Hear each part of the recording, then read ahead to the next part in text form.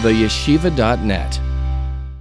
Yeah, the Yerushalmi says in uh, Masechta Rosh Hashanah that on a Yemeladis, on a birthday, Mazoli Goiver, the mazel of a person prevails. So I want to use the opportunity to bless everybody that Hashem should fulfill all of your heart's desires, begashmis and beruchnias, whatever you need and whatever you want for yourself and all of your loved ones and families and friends, but Klal Yisrael, all the blessings revealed goodness, of health and happiness, prosperity, nachas, menucha, serenity, simcha, and uh, a life overflowing with uh, tremendous bracha and atzlocha, ad belidai, both beklal and befrat, and that the the light of, of Torah and the light of Chassidus, the light of the Alter Rebbe should be able to penetrate us with an emes, with a pnimius, that each one of us should be, be able to become an ambassador of light, an ambassador of love, an ambassador of hope, an ambassador of healing, and an ambassador of redemption. L'chaim. L'chaim. Could say l'chaim on this, yeah?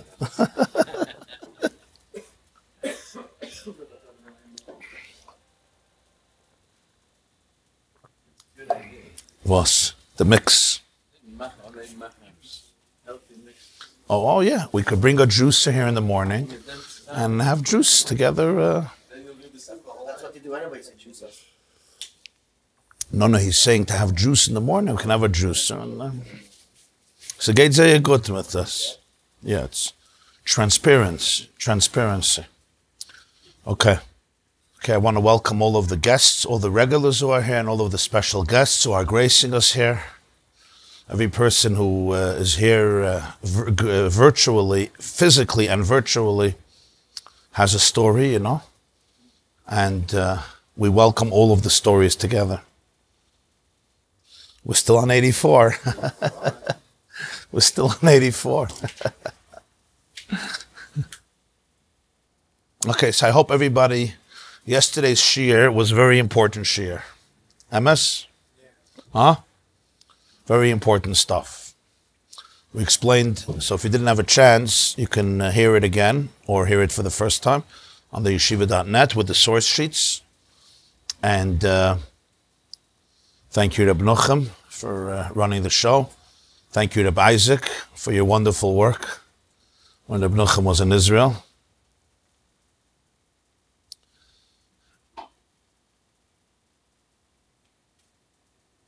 It was a very fundamental idea because uh, we focused on the love that's Mamalik Kalalman, right? The love that comes from Mamalik Kalalman. And that was the whole shiur, which in a crux, to summarize it, mamish, in one sentence, is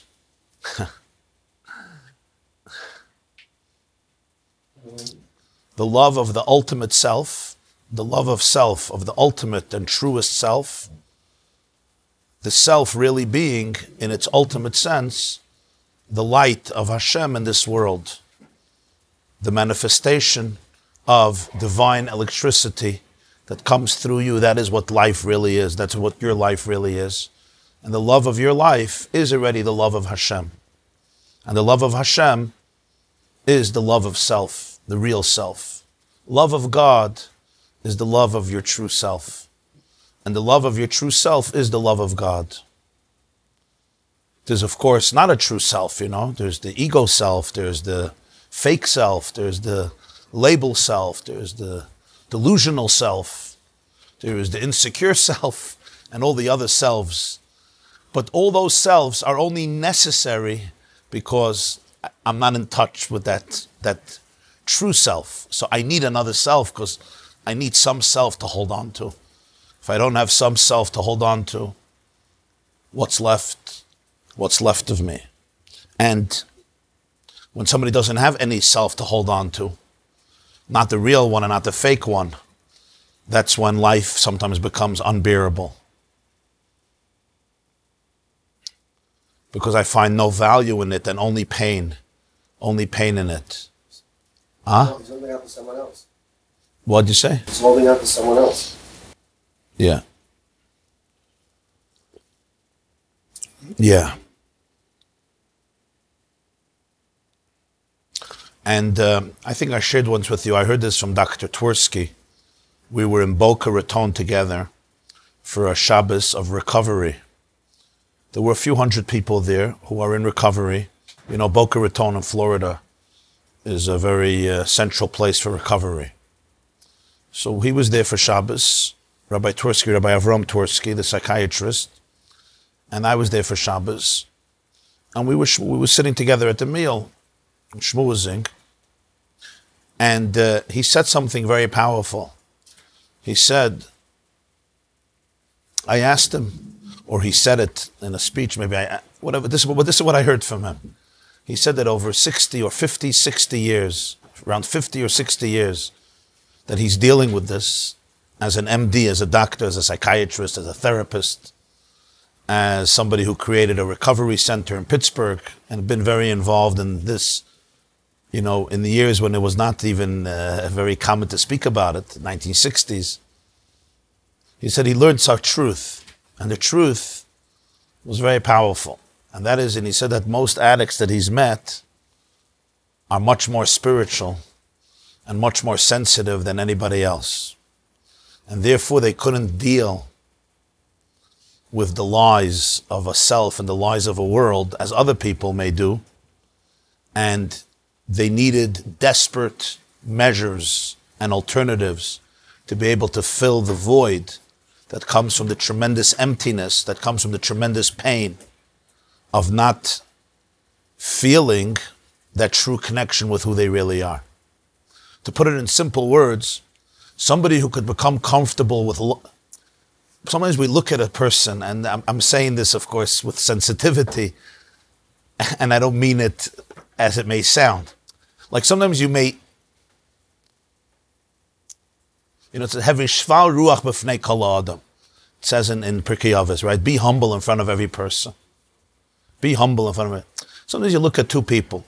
One person, a gestalte mensch. I don't know how you say that in English, a gestalte mensch. Um, not just a style, everything is put together about them. From the tie, right? to the watch, the knot is always, not like by me, the knot is always, uh, uh, put together. Everything looks from the car to the watch to the suit to the hat to the shoes to the schedule. Everything. You look at another person, yeah? Nabacha junkie. Nothing is put together. Everything is chaos. At the surface, here's a success story.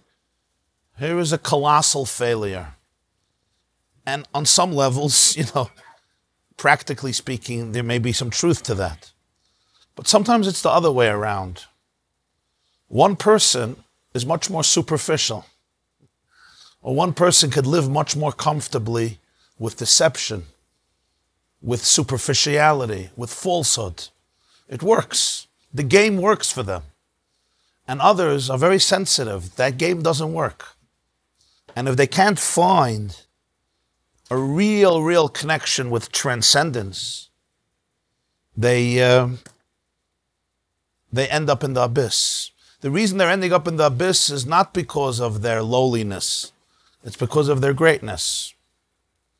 And therefore, the substitutes that so many of us employ as good distractions don't work for them. That's what I heard from him. And why this is so important is because when I'm not aligned with my real self, I need substitutes. I always need substitutes. The question is how big, how dense, how fake, or how real if I'm aligned with my real self. So that's number one. That's, that's how I would summarize what we learned yesterday. Now we come to the next stage of love, which is called the love that's rooted in Soivav Kalalman. What's the love that's rooted in Soivav Kalalman?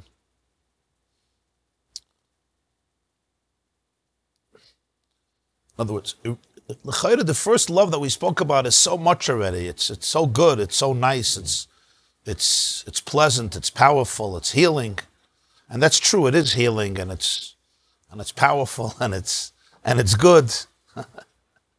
and if you can really internalize that, this uh,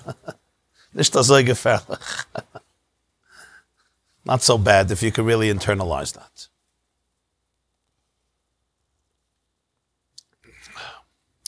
But in the soul of the Jew, there's something deeper.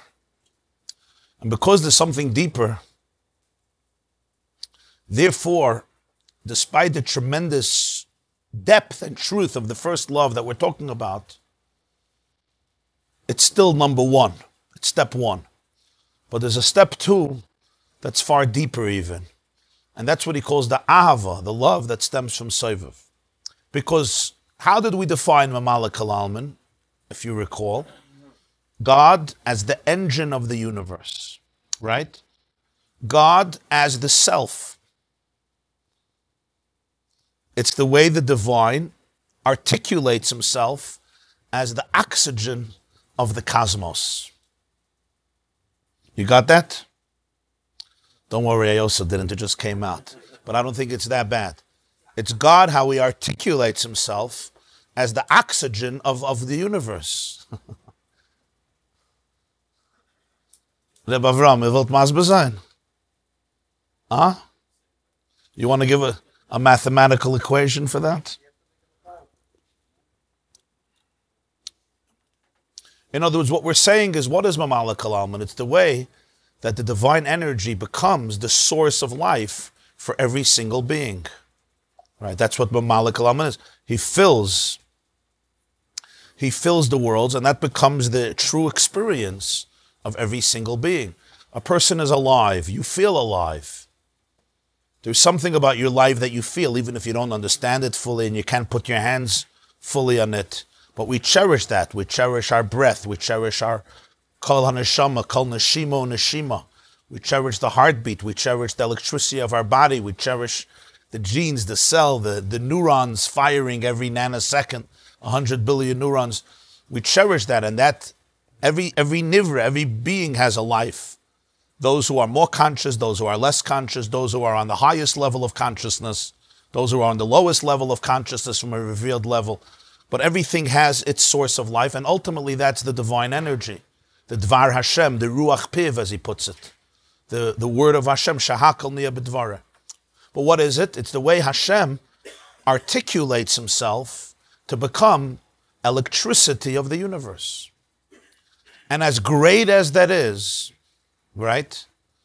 And I think I once saw that the amount of electricity that comes uh, in two minutes from the sun to the earth, from the sun, yeah, is more than the whole electricity that we generate combined in, on the whole planet.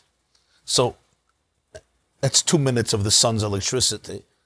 So that's obviously awesome. It's infinite.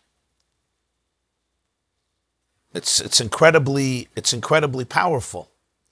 But we all understand that there's a tremendous tzimtzum in that. There's a tremendous restriction in that.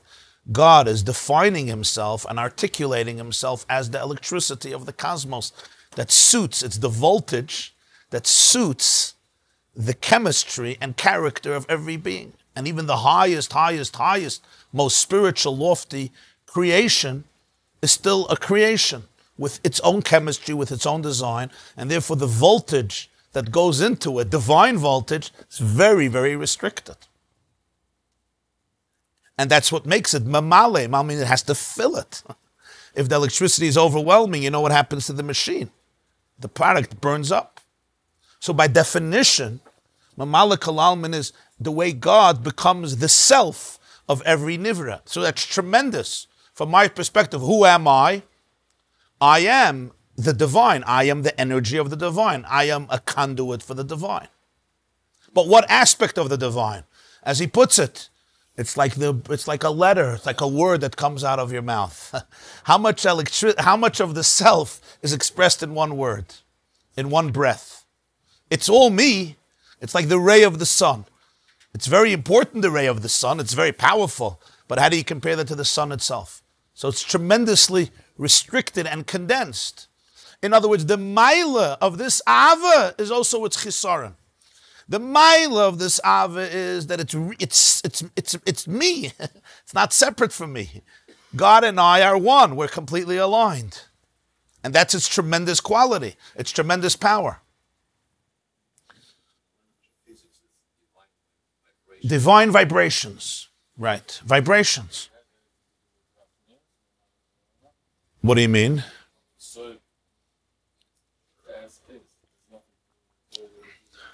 Mamala?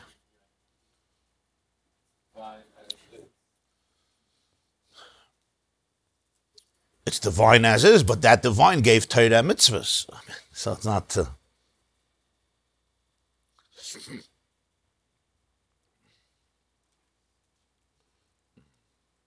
But you're right. Uh, an animal doesn't have Torah mitzvahs. It has its program. Shahakal niya b'dvarin. Ah, avada. That's mamalik alalman. Shahakal niya b'dvarin. Shahakal niya. I was davening in the other shul this morning in 18, so I went to the sink there to drink a cup of water. So I saw a sign by the coffee machine. In 18, I saw a sign. The fellow writes over there, he says, the minhag by Jews is that in the morning. In the morning, you drink a coffee. He says, that's the minhag, at least around here, that a lot of people drink coffee in the morning. he says, why? Why? So I always thought, I don't know, people like a coffee in the morning. It may wakes them up, makes them feel good, whatever it is. But the Baal HaSign, the author of the sign, says as follows. Says, I'll tell you why. Coffee is black. The milk is white. The water is hot. The milk is cold. The sugar is sweet. The coffee is bitter. Okay. So you have black and white, hot and cold, bitter and sweet. And you put it all into one cup. And you say, This is how the morning, this is how morning starts. There's moments that are bitter, moments that are sweet, moments that are black, moments that are white, moments that are cold, moments that are hot, moments that are sweet, moments that are bitter.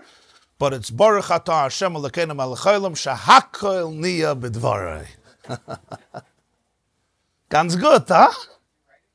Huh? No, I read it this morning. I read it. I read it twice, so I could say it over. Huh? not bad. Arab Shlomo, you just missed a good word. Chaim on the coffee. It says, come of coffee. Now, I'm not saying that it's a biblical mitzvah to drink coffee in the morning.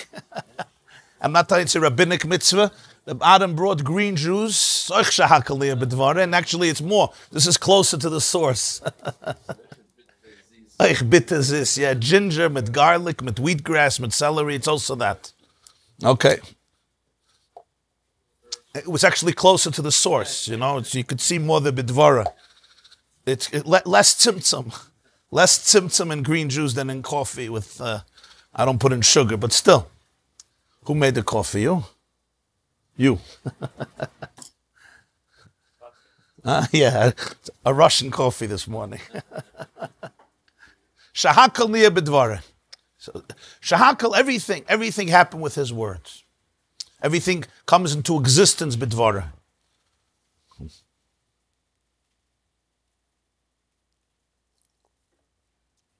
That's why it's called kava.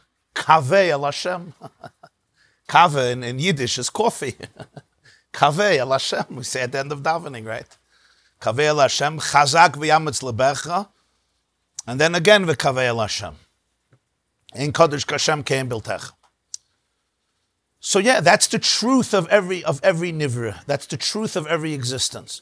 But what makes it the truth of every existence is that it's the way the divine, or like the philosophers like to say, the Godhead articulates itself, compresses itself into becoming the engine of the universe, and becoming the vibrations that vibrate and vivify and pulsate through the entire cosmos, not just the physical one, as we put it, all the worlds, El Yoinim, the spiritual worlds, the physical worlds, all the way down to the tiniest pebble and really tiniest atom, tiniest molecule, tiniest atom, and tiniest particle in, in, in our world.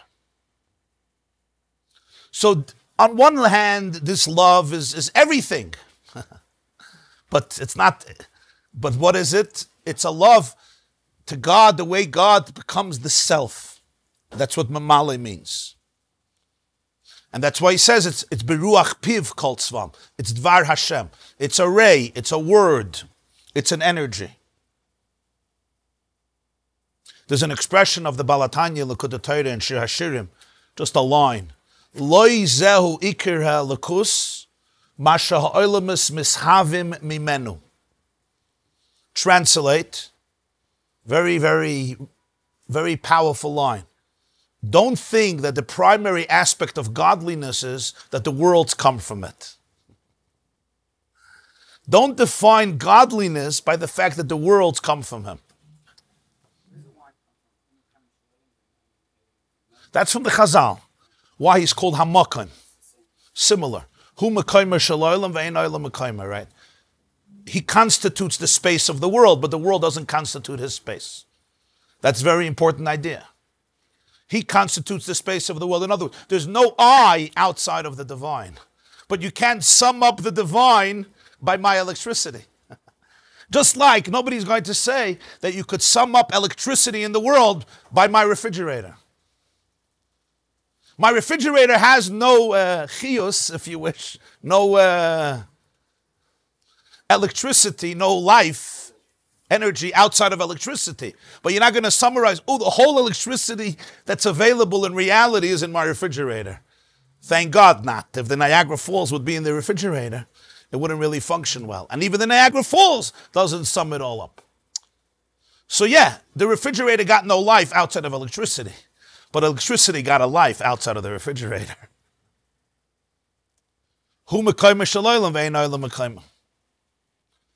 This was one of the major differences. The Baal Shem Tov has an expression, when the Baal Shem Tov used to say, Gott is alt and alt is Gott. Hashem is everything and everything is Hashem. So those who didn't understand confused it, lahavdil, with pan- pantheism. Spinoza, who lived in the 17th century in Amsterdam, was a Jewish boy. His name was Baruch, Baruchel.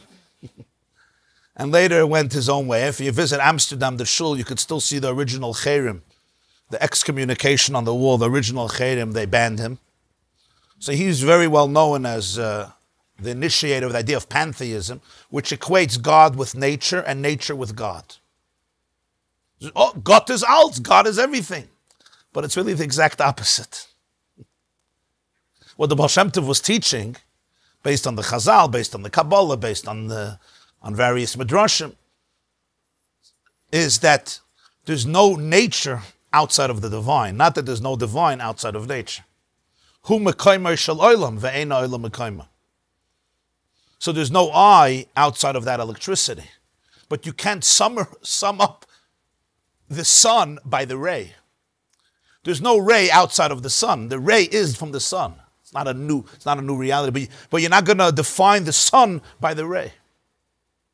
So the Ava of Mamalik Alman, the Ava in Malak is the Ava to the ultimate self, the way the divine translates into the self, which is a tremendous, tremendous tzimtzum or tremendous restriction. Because it's the way that the chemistry of every being can contain the divine energy, and that's what defines it. So, by definition, it's suited and it's custom made and it's tailor made to the very function, design, purpose, utility, physical and spiritual of that created being. I'm being clear. It's clear.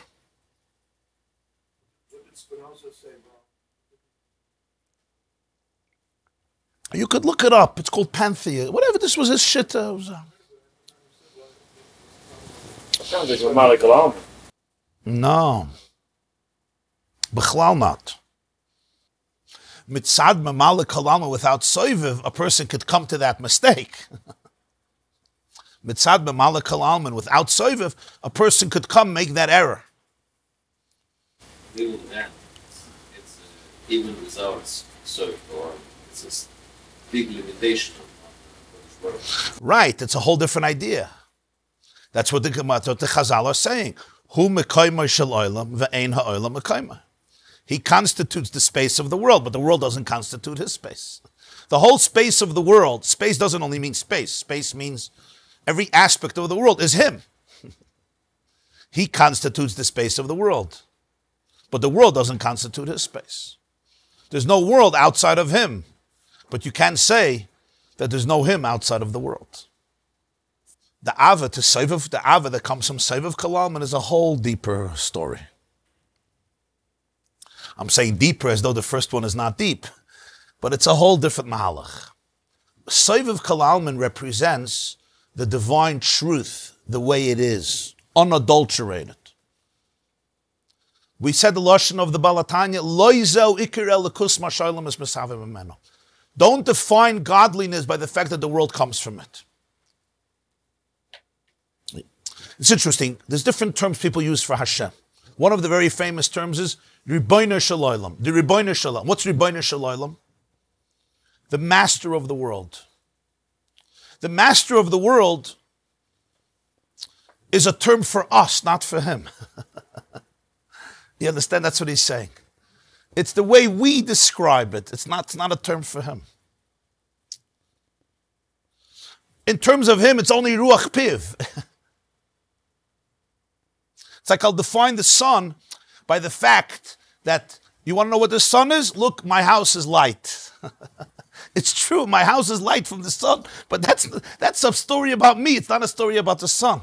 For me, that's everything. Look at the sun. For the sun, it's kama ray, a little ray. It's Dvar Hashem, Ruach Piv. The Gemara says in Menachos, the whole Elam Hazah was created with a hay. So it's a hay. So I want to know how much voltage of the entire self exists in the letter Hey. Ha, ha, Hevel, my breath. Ha, hey. No, what did you just get from me? okay, my hay is not God's hay. my hay is not Hashtik Hevel. But what do they say? Uh, a butterfly uh, flaps its wings here and tornadoes are created there. Every breath has a power, every breath has an energy. So that breath means everything because that breath is the electricity of the entire cosmos. That's big. In that little point, prebiotic soup, in which the Big Bang happens, all the electricity is there.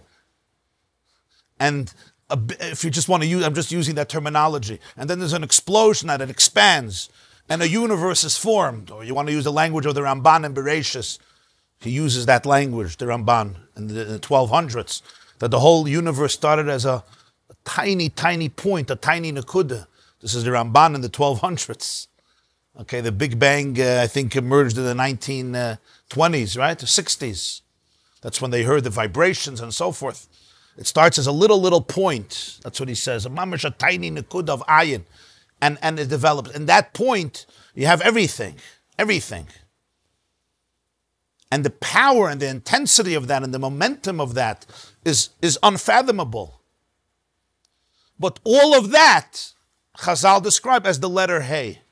Or as he puts it here, Ruach Piv, the breath of his mouth. So it's a vibe, it's a divine vibe. That's where the word vibe comes. The world is a divine vibe. And when you're in touch with the real world, you're always in touch with the divine vibes. There's a good vibe. Shahakal niya bidvara. But Riboinoi Shaloilam is a description of us more than of anything else. It's the way you're defining Hashem as the source of the electricity of the cosmos. Now that's impressive stuff. Hashem, Kulam Kinyanecha. But it's like defining electricity in terms of your refrigerator or your vacuum cleaner. The whole Mamala Kalalman is the way godliness restricts itself and articulates itself and compresses itself and condenses itself to become the oxygen, the fuel, the electricity, the vibrations, the vitality, the chius of the universes. Soiviv Kalalman represents that which is Soiviv. Soiviv means it surrounds the world. What does it mean surround? Surrounds doesn't mean in space. It's around the building, it's not inside the building. It means it's not condensed into the parameters of the particular nivra. Mamala Kalalman is all about ex- conscious experience. It's about creating the I that I'm experiencing, and that's why it's always fitted to the keli, to the vessel. I can't pour more water than this can contain because you can only deal with a particular voltage. If not, you won't be you. You're going to burn up the machine, you're going to destroy the machine. Every malach has its chius, and every soul has its chius, and doimim, tzomeya, chaim, medaber, the swatzil is bri, yitzirasiya, a rock to a pebble, to a blade of grass, to an insect, to a reptile, to a bird, to a fish, to a mammal, to a mammoth, to a human being, to a galaxy, to a black hole. I don't know bigger stuff, sorry. Huh? No. No, I'm not saying God. I'm talking about the kalim, the vessels. We call it soiviv, not because it's not inside. it's inside like it's outside. But it's not condensed, it's not limited. It's the unadulterated truth of Hashem, so to speak. Huh? No, the Shema is in everything.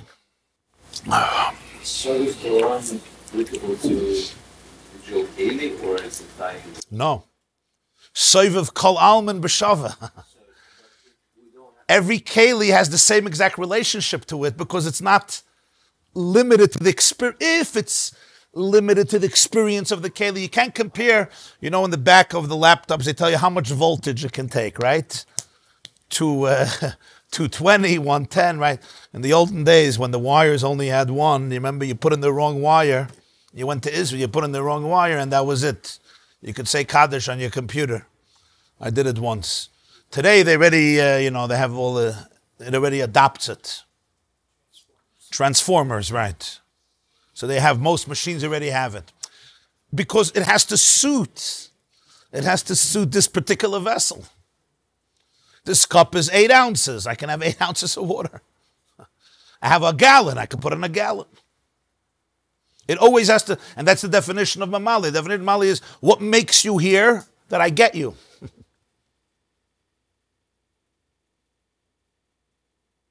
In Saiviv, it's completely not defined by the Keli. His presence is everywhere and everything on its terms, and it's infinite. And there's no place that's devoid of it.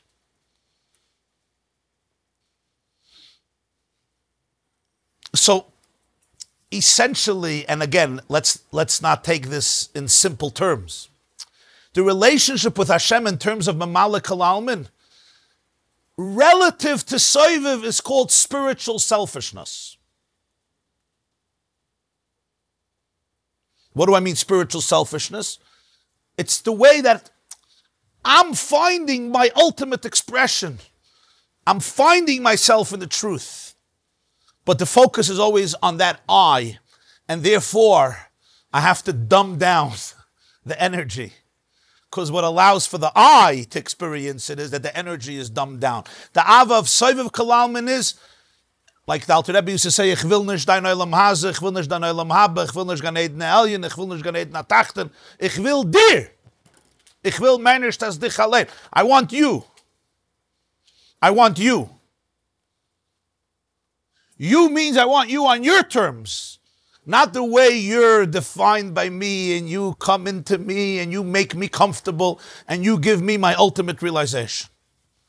Not that we're knocking the first. Uh, it's not. It's not you know black and white here like coffee and milk. but it's it's the depth of a neshama. Alter Rebbe has an expression in a mimer on Pesach.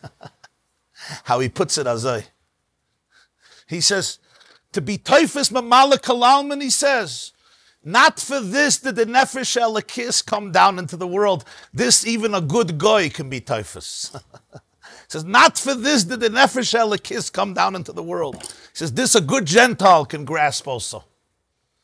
Somebody who's really open and spiritually honest understands that the whole world is divine. He says, the Nefesh Elakis, the godly soul came into the world to give the world a taste of Soiviv Kalam, taste of truth, of the ultimate truth. Truth here, we don't mean truth versus falsehood. Mamali is as true as anything else. Truth, we mean the ultimate truth that is not defined by my experience of truth, but rather my experience of truth is defined by it. You're looking at me like I'm a little kmashuga, or confused, bewildered. Mom and sometimes come, have to come together, but they can't come together. It's really one. We're talking about our experience. I'm saying in our experience, we have to have a theory. When we sp- say these terms, it's not like chas v'shalom, there's two. Hashem echad. We speak mamali and soiviv to dis- define our experience of it. It's not like mamali is in the cup and soiviv is outside of the cup. It's it's really one. But by definition, mamali is the way I define God. How do I define God? The way I define I. And that's infinite, trust me. How much of the I do we know? we don't even understand one cell, and there's 40 trillion of them. How much of that you can go deeper and deeper and deeper and deeper and deeper and deeper and deeper? Because that itself is Ein Sof. And that's why there's endless worlds. It says there's Ein Sof Madregas. Talmidei Chachamim, the Gemara says in Brachas, Ein Lem Menucha, Loi Boilam Haza, Loi Boilam Haba, Shenemar, Yelchu Mechayel El Chol Betzia. And that's how Maseches Brachas ends. Talmidei Chachamim have no Menucha, no tranquility, not in this world, not in the next world. That's, that, that's, that's a nice way to end the Gemara. People think one day you retire, you have Menucha. If not here, there. No, you don't get it. You're right. You're right. You're right. That's what that's what Mamale means. Mamale means is the ray of the sun that I'm enjoying and experiencing. And it's true. It's true. And it's very true. I'm, I, I enjoy the sun very morning. I, don't have a marshal here because this is blocked and this is a, a bad position. But just imagine, you know, the huge windows and we're sitting here and the rays are coming in and, and you and as you're looking at me, you could see the rays of the sun being reflected, right? You understand my point. okay. Electricity. Can you say what is Sovital Mal for Almin? Or you can only describe it in what So the way the Alter Rebbe says it is, "Loi zeu ikir. Don't define godliness by the fact that the world comes from him. What do you mean don't define him? We always say the Heilige Bashefer. It's true he's the creator, Shel Olam, but that's you- you're talking about yourself more than about him.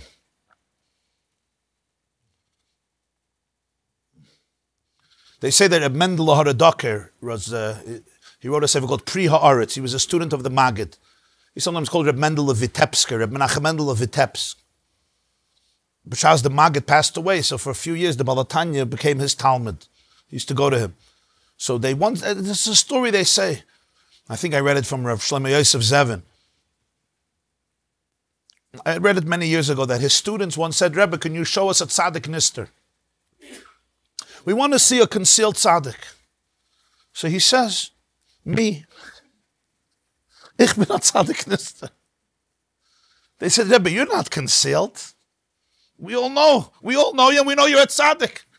So he said, das Ach und weh, als ich wollte gewinnen a tzaddik, wie viel ihr wisst. Woe unto me if my tzaddik status was as much as you know it. You understand what he's saying? Now, the way I define a tzaddik, I'm talking about me, I'm not talking about him. Generally speaking, they say, right? Psychologists love to say, and there's a truth to it.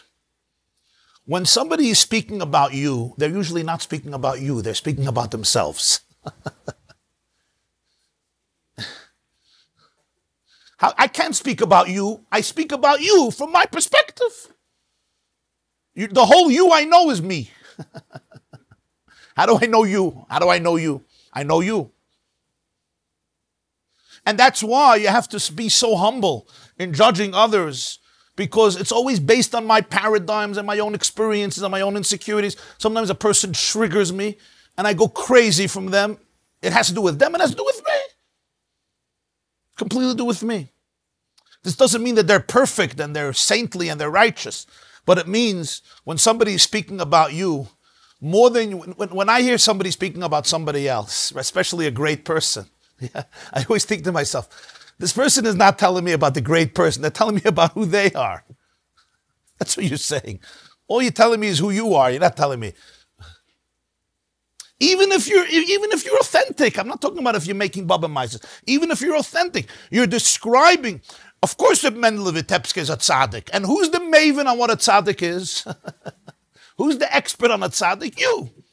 You decided what a tzaddik is. He fits it. So he says, Rabbi Isai, I'm not that tzaddik. I'm a tzaddiknist. you really don't know about me. That's the difference of Mamalik Alman and Seviv Kalam. Mamalik Alman is I'm defining you based on me.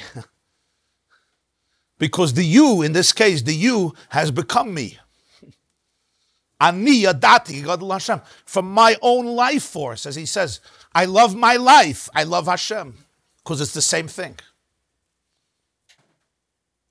Saiviv is that the soul is rooted in the ultimate truth. So it's not I love the love of Hashem is the love of self.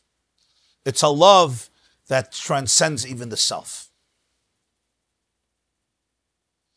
And from here comes the secret of the Jewish people. And the difference between the two, of course, is one is based on my conscious experience, and one is never based on my conscious experience, and therefore it could never cease, it could never change. It could be conscious, but it's a different type of consciousness. Mamali is defined by my experience of it. What makes it here? What makes Mamali here? That it fills me, that it defines me. And I define it. It's based on the Keli. We'll give an example. If a teacher is teaching and the idea is understood by the student, so now you could say the student goes away with this idea in his mind. He could think about it, he can share it with others, he can write it, it can inspire him, etc. What happens if the teacher is teaching and the student doesn't understand the idea? So, could you say the idea is in the student? No. Not that Seichel has a space, but it lives in the world of intellect. And if I don't understand it, this intellect has not arrived into my space. Sometimes you're sitting at a shiur, right? And it just doesn't go in. So it did not go into me. What means it went into me? I got it. I got it. And then when you start smiling,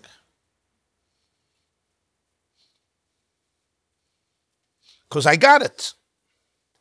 That's all the definition of mamale. What makes it here is that I experience it, that I feel it, that it became part of me. If it's not part of me, if I don't feel it, then it's not the union of mamali. It's not here mitzad my experience. But Soiviv is completely a different reality. It is here in its unadulterated truth, notwithstanding my experience. You know it, it becomes knowledge. Yeah. That's why it always changes. What was yesterday's Soiviv is today's Mamale. What is today's Soiviv becomes tomorrow's Mamale. They once asked the Brisker Rov. it's a Brisker word, but you'll soon see how it works. They asked him if when Mashiach comes, there's going to be a Munah. When Mashiach comes, will there be a Munah? Apparently not, right? A Munah means belief. You don't have to believe that, uh, that there's a cup of coffee here. you could see it. V'nigla kvayd Hashem. So the Brisker answered like a Brisker He said, Amunah is a mitzvah. and mitzvahs don't change. HaTorah hazois loitahei mechlefes, one of the 13 principles. A mitzvah doesn't change. Emun is a mitzvah. A mitzvah doesn't change. Mashiach. It's a briske word. You hear the word. Emunah is a mitzvah, and a mitzvah doesn't change. What's pshat? so for the brisker of it's such a word passed.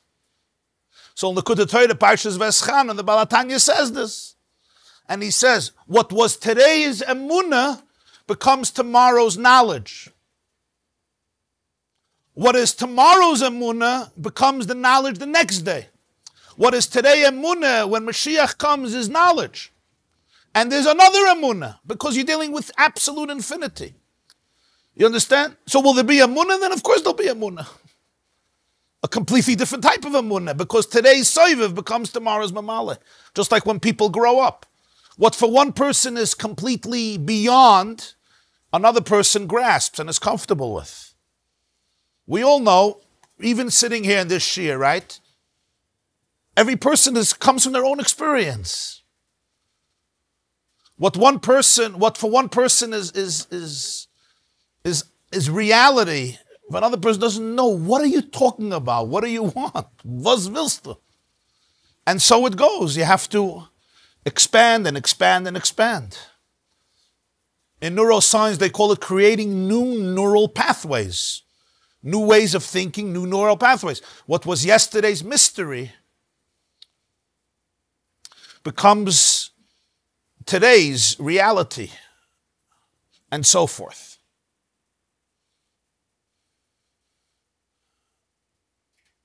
When a person has that humility,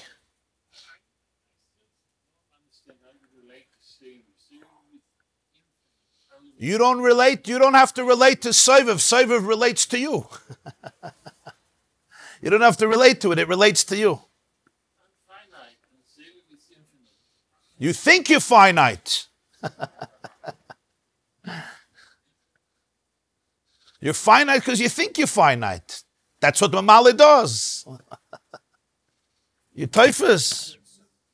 You're finite because you think you're finite. That's what the Malik Alman does. God allows you and me to think that we're finite. if there wouldn't be Mamale, what would you and I know? That we're infinite. Yeah, if you think you're infinite, you're infinite. Try it. Don't try it at home.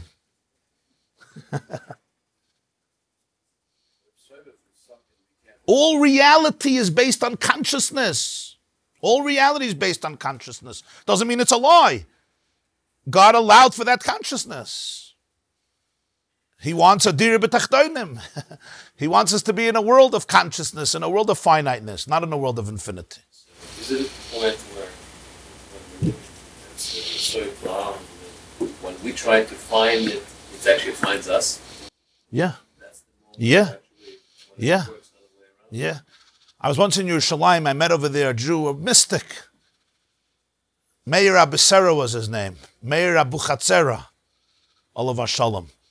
So he tells me, you know the difference between Jerusalem and the rest of the world? He says, in the rest of the world, you pursue meaning, and in Jerusalem, meaning pursues you. The Ava, the Ava of Sevav Kalalman is the essence of, a, of, of the Jewish experience. The anim zmiris v'shirim eroig, ki elecha nafshi saroig, nafshi chamda b'tzel yadecha ladas kol. Yeah. You know the story behind this niggin? Huh?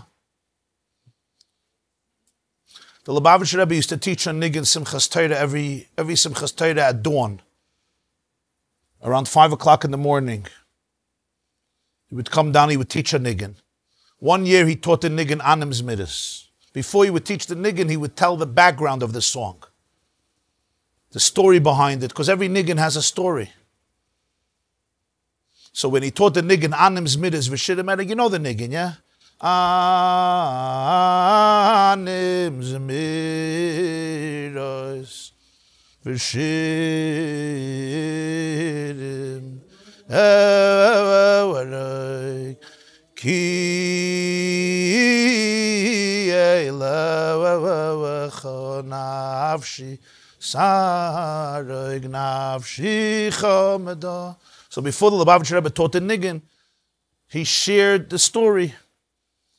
that uh, it says it says in Shulchan Aruch that the day after Yom Kippur, Noyhagin Lahashkim, it's a minik to come early to Shul.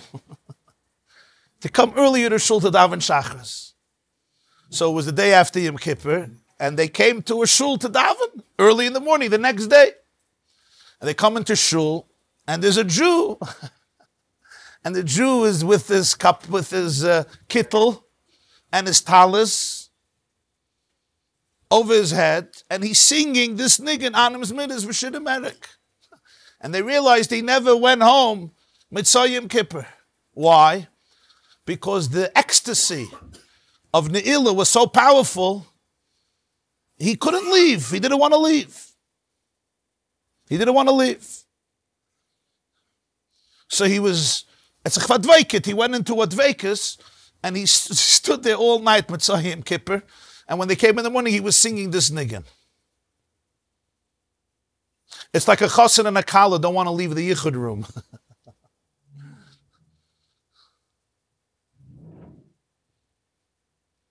yeah, Yom Kippur is like the chuppah. Ne'ilah is like the yichud room. The door closes and you're inside, right? And even the photographer has to leave. And then there's always somebody banging, no, no, no, no, pictures, pictures. There's a reason we're paying $70,000 for the wedding, not you should be stuck in the yichud room. You'll have a whole life for that, hopefully. So Ne'il is like the yichud, doesn't want to come out. I'm not, I, don't, I don't have to take pictures. That's just my marshal. So what, what's the nikud of this? There's two types of love. There's a love that's based on the self I love you because, because of what you do for me, how you enrich me. In this case, it's not just you enrich me, you are me. the love of God comes from the love of self. It is the love of the ultimate self. But there's a whole different ava, a whole different, a different deep ava. And that's the anims midas, v'shidim erik, ki nafshi sarek. That there's something in the Jewish soul that is rooted in the ultimate essence that is beyond the Dvar Hashem that creates the world. It's beyond the vibe of electricity that restricts itself to come into the world. I'm not looking to you to find myself. I'm looking to you, even if that means I completely melt away in yourself. I don't have to find myself in you. I'm not looking for a madrege, for a shlemus, for, for another checkpoint on my chart. I'm not looking even for inspiration. I'm not looking for inspiration. I'm looking for truth. I want you. Really? But if you want me, if you want you, you know the electricity voltage there is very, very big. It doesn't sit well with your spiritual ego. I don't care. Not because of recklessness, because of carelessness. On the contrary, there's, there's a yearning for ultimate intimacy with ultimate truth in which you completely lose yourself. And this is, this is the experience of the Ava that's rooted in Seviv Kalal.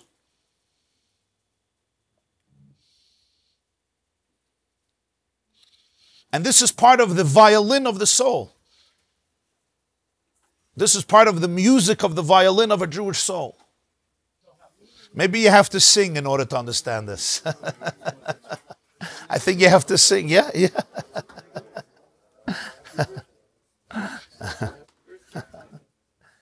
נפשי חמדו בצל ידך ולא דס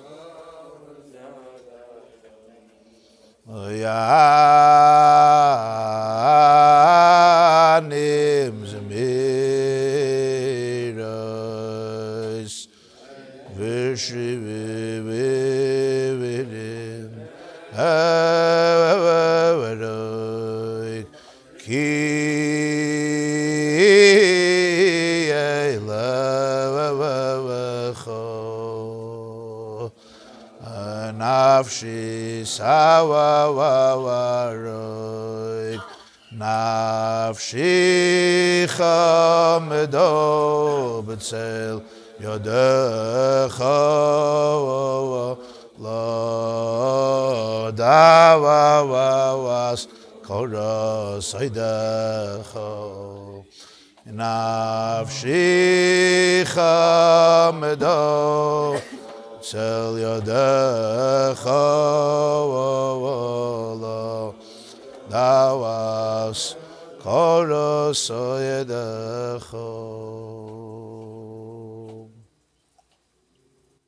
So, back to words again. From Soivav to Mamale, from Mamale to Soivav. But it's really a pen. It, it, it, oopsie. Almost Soivav. It's really, it's really a pendulum. Is that the word? Uh, pendulum. pendulum. Uh, in other words, the Avos Hashem of Mamale is the search for the ultimate self. And that's a beautiful thing, right? People say, I'm searching for myself. Right? It's a big word. When you're 19, you're supposed to look for yourself. When you're 49, you realize you're lost.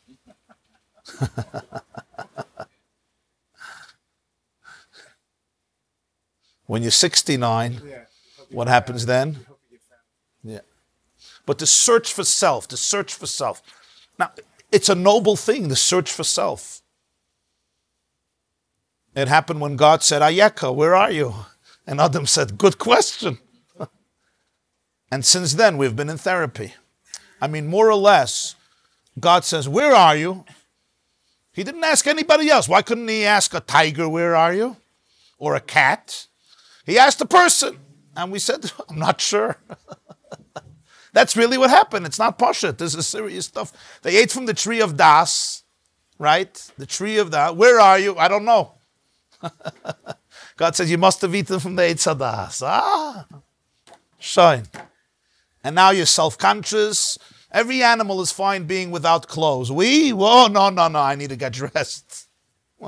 what happened? It's a whole different. I'm trying to find myself. I'm not comfortable. If I would be comfortable with myself, like my two year old baby, he doesn't have to get dressed. We get him dressed, but he's fine running around the dining room without anything. Kiyadua. And everybody says, so cute. But when you're 14, when your 14 year old does that, you're in a crisis. You're calling every expert in the world. What should I do? Right? You don't know what to do. You want to shoot him because it's already post Eitz. You're two years old, it's pre Eitz. So that search for self always comes because there's a little bit of alienation. Alienation. I don't know who I am, so I'm searching for myself. So, and in that search for self, you discover, when you can discover your alignment with the divine, that's very, very powerful. And that itself grows and grows and grows because Mamali is also infinite. But it's the search for perfection.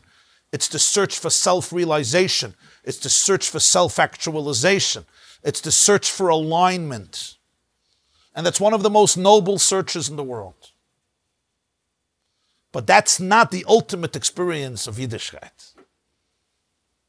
The ultimate experience of Yiddishkeit is what it says after Matan Torah, V'zavachta alav es eloisecha v'eshlamecha. The first mitzvah after Matan Torah was what? Right after. What's the first thing it says, you know? Mizbeach adoma tasali. Build an altar of earth. V'zavachta alav es eloisecha v'eshlamecha and you'll slaughter on it your offerings of oilus and shlomim. So the Baal HaTanya once said, why is that the first mitzvah after Matan Torah? I'll say it in Yiddish and then I'll translate. So the first thing Hashem says after Matan Torah is Mizbeach Adome Tasli. Soll's boyen am Mizbeach vom Bittel. Und auf dem Mizbeach sollst du schechten alle Aliyos und alle Schleimussen. Build an altar of Adam of earth, of Bittel, and on that altar, you should slaughter your need to go higher and you need to be perfect. from the word aliyah and shleimus. A person, I want, I want aliyahs, I want madregas, I want shleimus. I want perfection, I want ultimate perfection, I want shleimus, spiritual perfection. That's all in the Ava of Mamale. I'm looking for my ultimate self. The Ava of Soiviv is I'm not looking for that. I'm looking for the ultimate truth. And I want to melt in that ultimate truth. I want to melt. I don't want to experience it in the self because I know that what I experience in the self is always is always uh, convoluted, convoluted, tainted, condensed.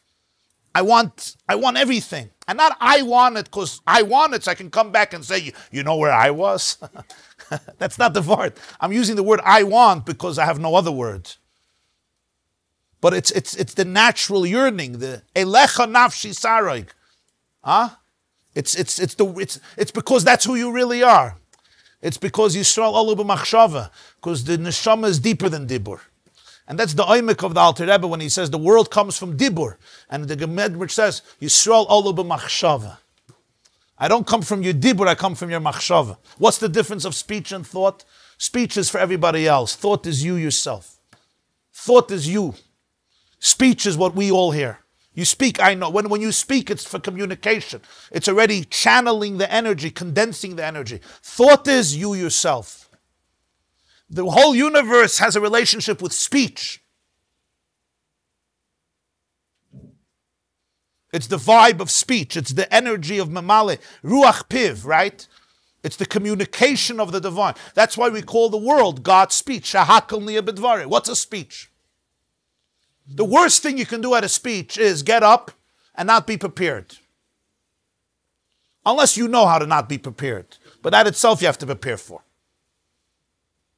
What I mean, you see you get, people get up and start rambling. No, you have to prepare for your audience. If you're speaking to children, you have to prepare. If you're speaking to adults, this crowd, you have to know your audience. Why? Because that's what communication is. Communication is not about me, it's about you. I know this class was different, but. but communication is about the audience, not about the speaker. That's what it is. And if you don't know about the audience, then you're not communicating. Dibur, by, the, by definition, is tzimtzum. It's not about complete self expression, it's about communicating that in a way that a person, not that it's dishonest, even if it's very honest, but it, you want to affect the other person. Machshava is your intimate self. So those are the two loves. The first one is always conscious. That's what its definition is. It's, it's my, my consciousness. It's my, my life, my sense of life. The second Ava is, never changes. It's not like if your consciousness ceases, it's not there.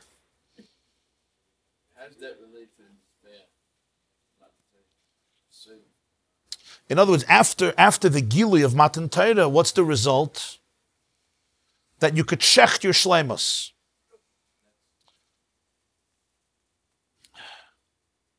What does this mean in the avoid of a person? What does it mean in the avoid of a person, practically?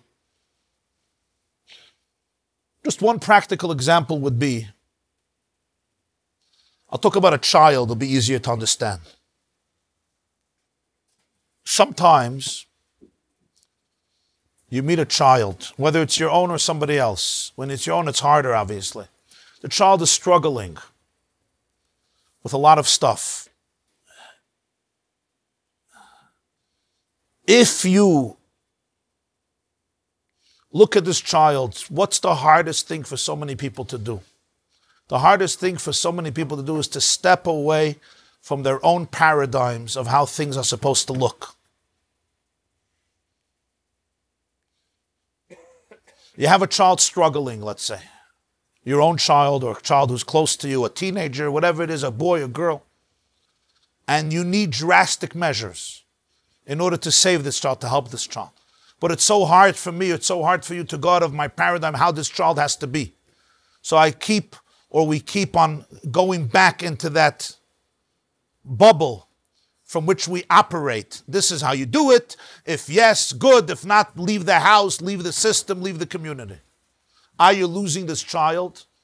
But I cannot graduate. I cannot transcend my understanding of what Judaism is and what God is. And not because I'm a bad person, maybe because I'm actually a very good person. And this is what I was trained. This is morality. This is ethics. This is what God wants. This is the right thing. This is the right thing to do. But sometimes there comes a moment where you have to break the luchas. What was the Mesiris Nefesh of breaking the luchas, you think? For Moshe, there was nothing more precious than the luchas. Why? Because it's, it's God Himself. Nobody understood the value of the luchas more than Moshe. And he's the one who broke them. What did he break at that moment? He didn't break two stone of tablets. He broke everything. He broke everything he understood about God. Why? To save the Jewish people. That's a different type of relationship. That's a different type of ahava. You're ready to break everything you knew about your own spiritual self for a truth in which you're not going to find yourself. But that's what real love is. That's what real connection is. And it's not an easy thing. Anybody relates to what I'm talking about? Huh? Not an easy thing. Now, this is not done with hefkeris and anarchy because I'm in the mood of breaking luchas. Then, uh, then it's not kosher. It has to, huh? Rashi says that Moshe broke the luchas because it was the ksuva. The luchas was the marriage contract. So Moshe says there's no marriage contract. They're not married to you. there's no adultery. Rashi says in Parshas Ki Sisa. Tidoin kipnuye v'loy ish. The Jews are not married. So he takes Kivayachal, Luchas, which is Kivayachal Hashem himself, Anon nafshik sovis Yehovis, Anoichi, the Gemara says, Hashem's essence is in the Luchas, and that's what he breaks. But that was also for God. That was also for God. Because the Tanna of Elio says that a Yid asked Eliyahu Navi, he says, I love two things, Torah and the Jewish people. Which one comes before, which one comes first? So Eliyahu Navi said, Tanna of Elio Perik Yudalit, of Elio Rabbi Yudalit. So the Eliyahu Navi said, the whole world says that the Torah comes first. Vani Oimer, Yisrael Kadmo. And I say that the Jews come first. That Eliyahu Navi told them. So now the question was, the Luchas can survive and the Jews will die. Or the Luchas can break and the Jew will live. So Moshe breaks the Luchas. So you would think Hashem would be upset. Hashem says, Thank you for breaking the Luchas. And that's the last words of Rashi and Torah. You finish, we want to finish with something positive. The end is with this horrible catastrophe. Because this brought out Moshe Rabbeinu more than anything else. He was never connected to truth on his own terms. He was connected to truth. And when you're connected to truth, then sometimes you could shatter the whole spirituality that you have practiced for 60 years. Now, this doesn't come easy. This comes with tears.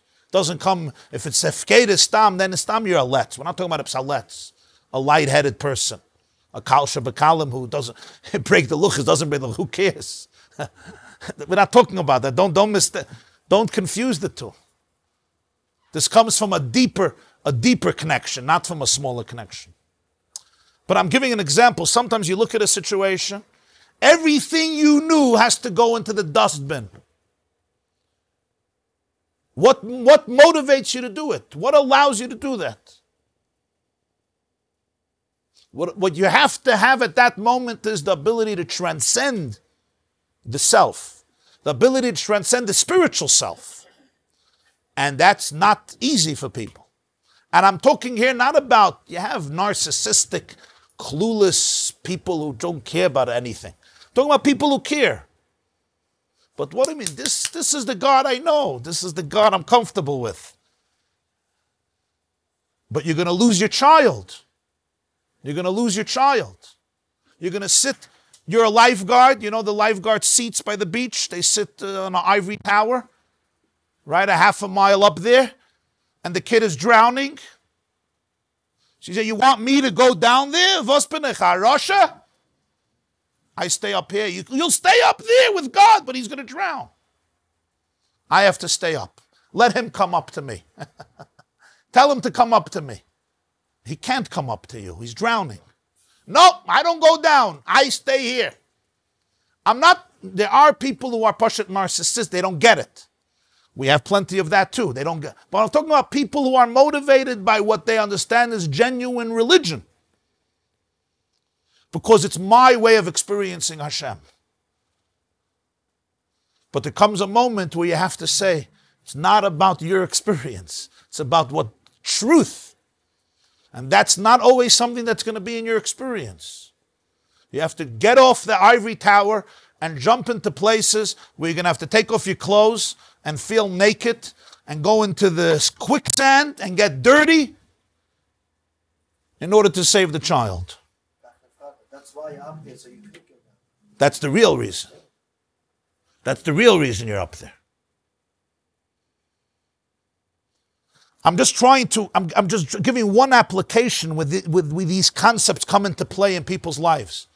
If Yiddishkeit always remains ultimately an exercise in, ah? But I'm talking here in edel, in very edel madregas, because Mamali is nicht, uh, Mamali is very deep. But it's ultimately the way I feel the connection. I want to feel, I'm not going to feel a relationship here. So you won't feel a relationship. So what? Real spirituality doesn't have to feel spiritual. real, real godliness doesn't have to feel spiritual. It could feel physical.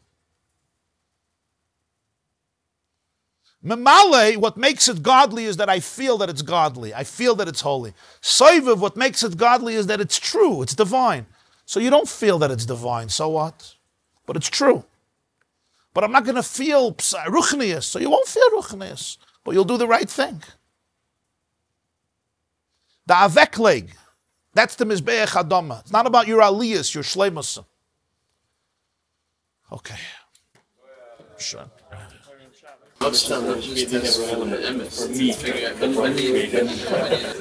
The litmus test is two things. Number one, the results. You're taking a gamble in your mind. But you could see, you could see results. That's number one. Number two, number two, number two, it's always if. Aber der kann sich auswählen bei Shalamita. Verstehst? Oy. Oy, oy, oy, oy. Oy, oy, oy. Yeah, that it's not. There's the mamale is God as the self. And here it's not about the self. It's about the truth. It's not about the self. Where in Torah you want to know? Well, Moshe breaks the luchas and Hashem says, Yeshikoicha, Yeshikoicha chutz shibarta. Thank you.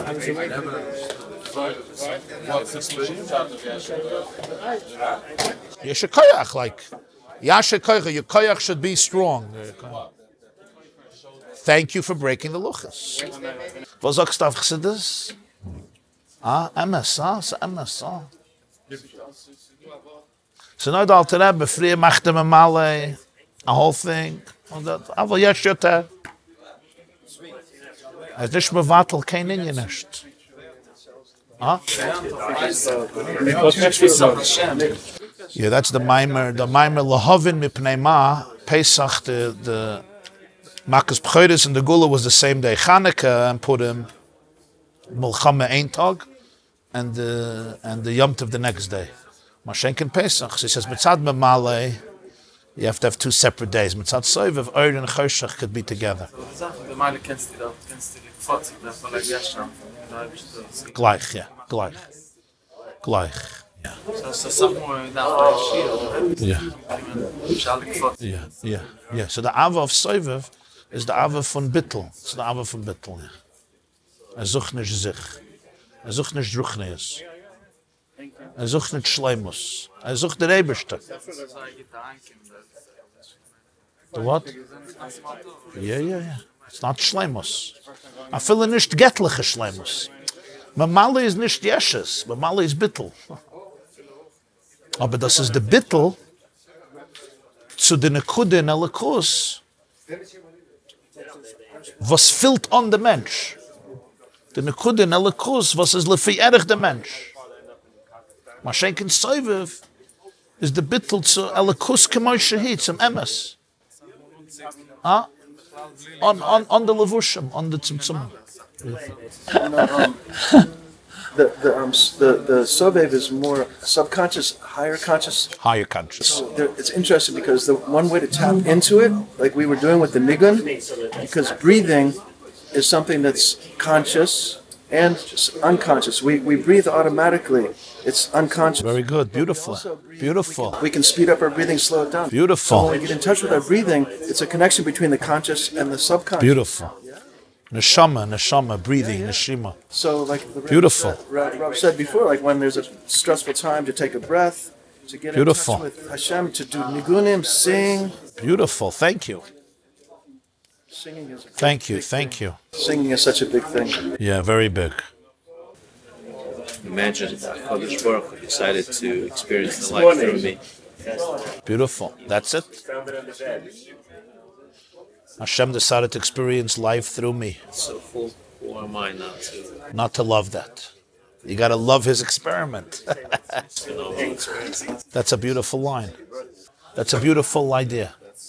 That Hashem decided to experience life through you. So how could you not love it? Beautiful. Once you think this way, it's It's powerful. somebody else's. Right. Hashem decided to experience life through him too. Through her too, right. Right. It's a, it's a deeper way. It's just a deeper perspective. It helps you, it aligns your brain to the reality. You don't live in delusions and, and, and cover up. You wake up to reality. But now you have to give me an equation for Soivev. That's good for Mamale. Okay, yeah. Let it sit, let it sit. Uh, still struggling. The only the only one I know that it's the moment where you you you lost and you don't know. That's probably the moment where he finds you, and that's the only way that maybe Soyu can can't be even experienced by us. It can be experienced only by him. Yeah. But it's just in a way like giving a delight to him, I mean, not to yourself, because you you cannot even. Yeah, yeah, yeah. Yeah. I don't know. I don't have much. Okay. Probably will. But you sense it, you sense it a little bit, yeah?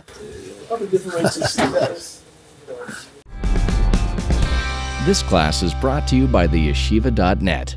Please help us continue the classes. Make even a small contribution at www.theyeshiva.net slash donate.